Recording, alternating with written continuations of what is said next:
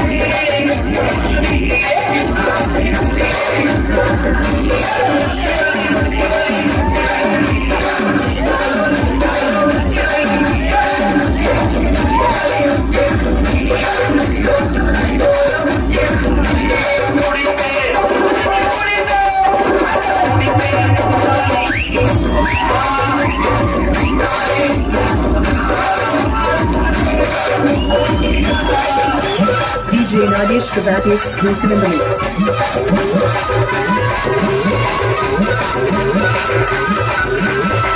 mix.